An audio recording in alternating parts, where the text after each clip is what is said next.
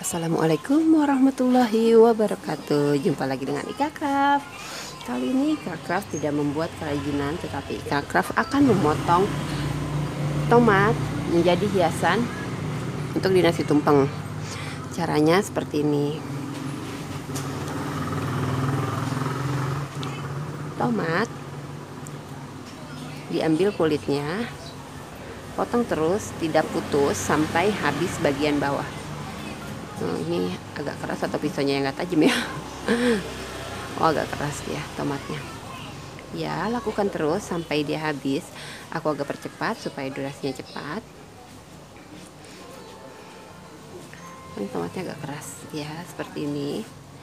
Lakukan terus tidak putus.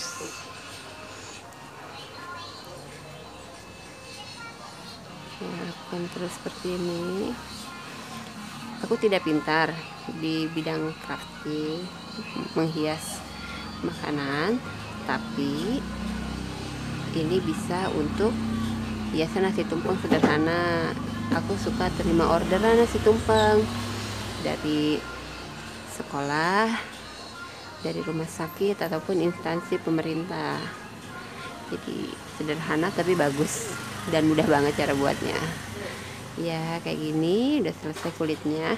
Lalu direndam di air es seperti ini. Tadi sudah ada yang aku buat beberapa. Aku tidak buang. Aku potong seperti ini. Nanti bisa untuk bunga. Segitiga. Segitiga seperti ini. Segitiga seperti ini lakukan sampai selesai.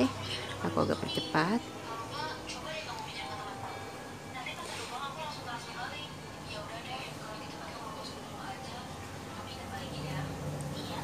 Aku agak percepat. Dan ini selesai. Sudah ketemu di sini. Lalu dicopot. Nah dicopot seperti ini. Dimasukin di air es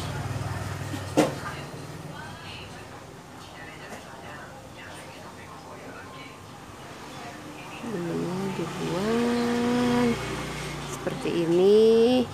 Jadi tetap bisa digunakan walaupun kulitnya sudah diambil. Direndam di air es. Buang bijinya. Direndam lalu dihias. Maaf aku pinggirin dulu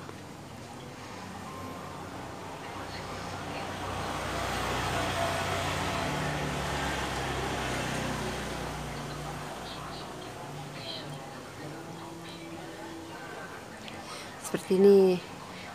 Kulitnya dilingkar seperti ini akan menjadi seperti bunga mawar. Semudah ini. Wow bagus langsung.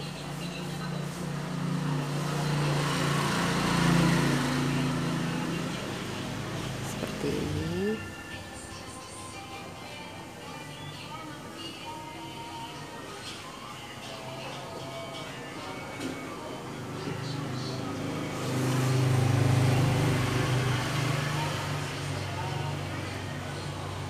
dan jadi seperti bunga mawar.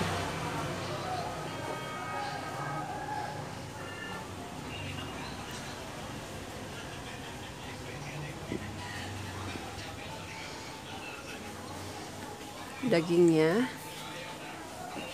bisa jadi hiasan seperti ini. Tempatnya miring. Ups bisa jadi hiasan seperti ini seling seperti ini. Dan jadi selesai. Terima kasih sudah menonton semoga bermanfaat. Assalamualaikum warahmatullahi wabarakatuh. Salam dari Ika Craft bahagia selalu